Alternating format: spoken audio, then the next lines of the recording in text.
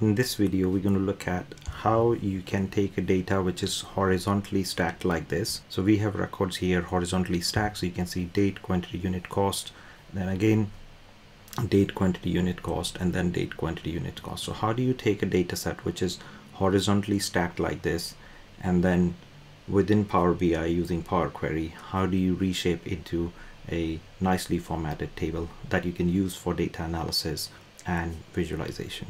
So let's jump in. Hi, my name is Gurpreet and at BI with Gurpreet, my mission is to help you learn and master business intelligence, especially using the powerful Microsoft tool of Power BI and help you build a career in data analytics and business intelligence.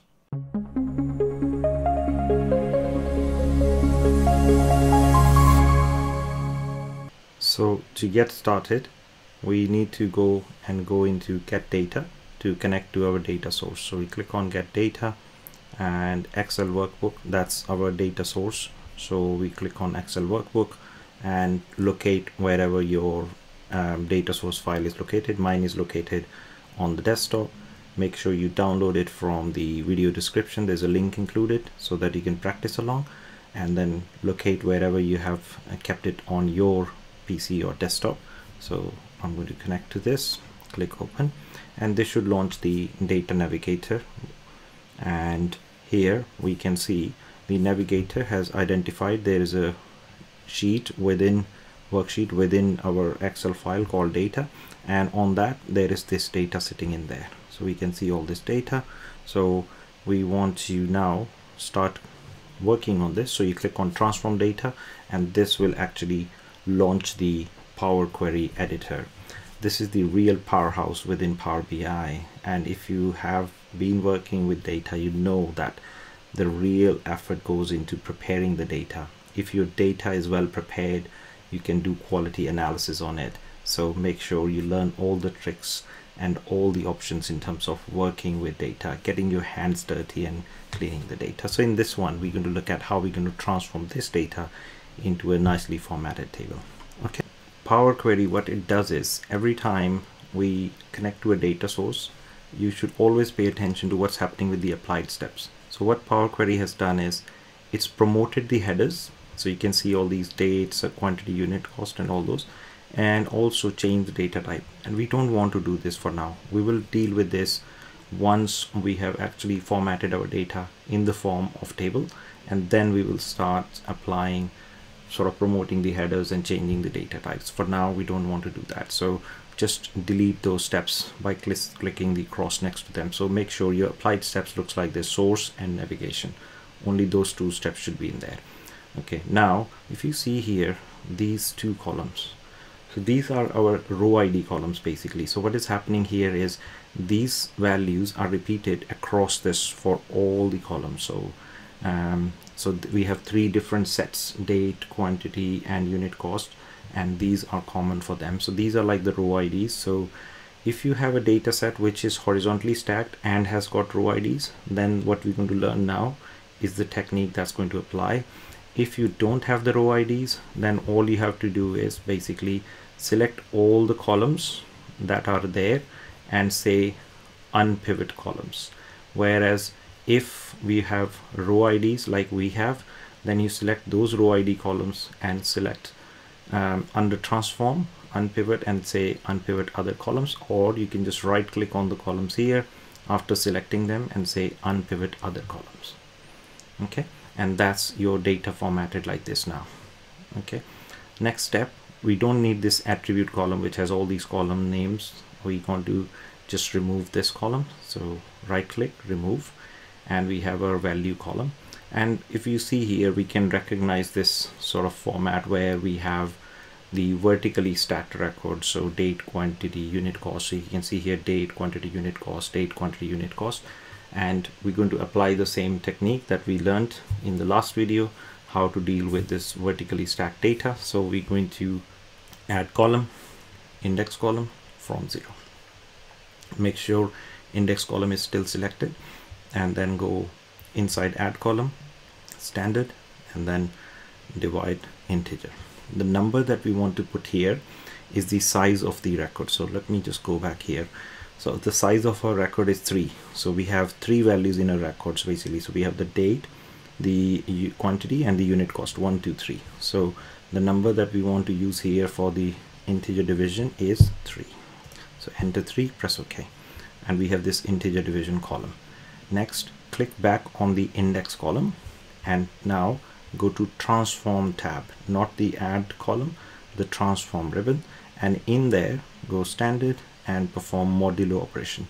So modulo operation basically returns the remainder of the division. So we're going to divide all the values within index column with again 3 because that's the size of our record. So press uh, enter 3 press ok. And we have index column formatted like this. Now make sure index column is selected and then go to transform and click pivot column. And this dialog box will come up pivot column dialog box. The values column is should be the column which contains the actual data the values. In our case the values column is the value column so it's called value so select that. And also open this advanced options and make sure it's changed to don't aggregate. So the values column should point to the values column which contains the actual data and the aggregation option should be set to don't aggregate and then you press ok.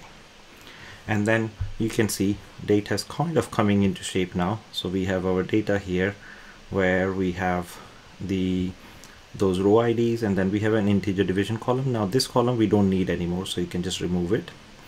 And then we have our data column. So we have the dates we have the uh, quantity and then we have the unit cost. Now next thing we want to do is we want to promote the headers. Now this is a trick part here.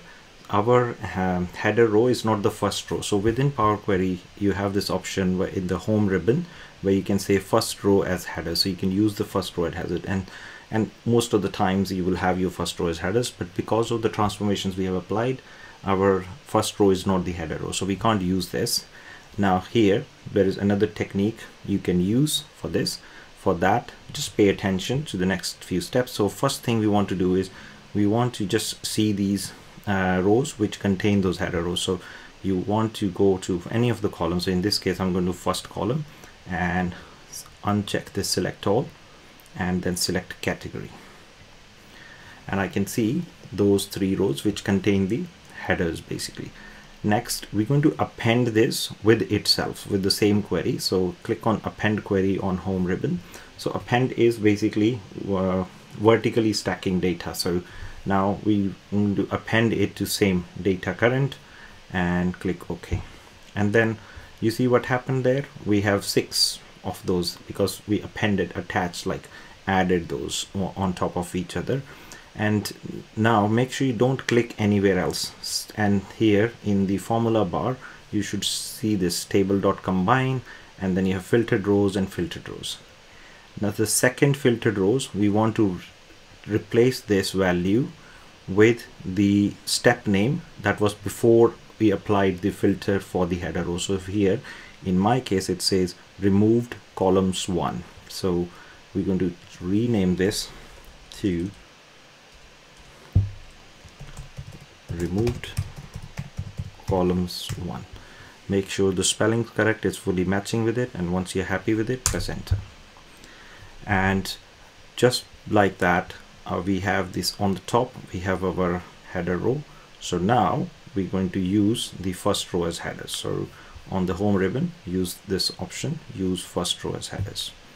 And there we have nicely formatted headers. Now we still have five rows which contain those headers. We don't need those anymore so all we need to do is just uncheck here the category and that way those will disappear actually. So those will not get loaded into our data model.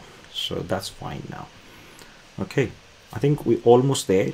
Now a couple more things. One is the data type. So category is text data which is fine. Subcategory is text data which is fine. The date now. Um, you can try doing the date here. So if I apply date format you can see we get errors. And for now just I'm going to remove this change data type step here in the applied steps cancel it. So now you can see why that happened. So basically what is happening is you can see some of the dates are left aligned some are right aligned because the ones which are right and left aligned uh, Power Query is treating those as text values whereas the ones which are right aligned it's treating those as date values. What has happened is this data comes from US so the source system used the US date system where it was mm and then dd whereas my machine I'm based in UK in London so my machine is set to ddmm so basically it's having trouble converting those. So we need to tell Power Query allows you to tell the source locales. We're going to click on this and we get the drop down here to change the data type but we are not going to apply it here. We're going to go here using locale. And I've shown this before in some other videos as well so make sure you do that. And then data type select the date data type. And in the uh, locale make sure you select the English United States. That's what we want to select. And click OK. And there we have it. Our dates are all nicely formatted. Wonderful so the next thing is the quantity which is just whole numbers. And the third one is the unit cost which is currency. So it's not called currency it's called fixed decimal number. That's what you use for currencies. So there we go. All our data is nicely formatted. And next thing maybe I'll just change the name of this query as well to bike. Ooh. bike sales. Bike shop sales and once we are happy with that all we need to do is now close and apply. And after this step as we know the all the transformations get applied to all the data and then that data gets imported into Power BI data model. So we can look at our data in the data tab here and we can see the data. Now you can make further changes in terms of formatting of your data. So the date we have applied the date type but we can format it the way we want to see it. So I want to see it uh, in this format where is DDMM and then 4Y so just select that option for the date. And also for the unit cost it has automatically applied pound but I know it's not in pounds it's in dollars. So I can change the currency here. So we go select the column go to this dollar symbol here and select English United States and should apply the dollars there. And there we have it. Our data is ready for analysis. That's it in terms of what we wanted to achieve in this video in terms of taking a horizontally stacked data set and then reshape into nicely formatted table that we can use in analysis. So thanks for watching. If you have any questions regarding what we learned in this video do leave a comment and I will see you next time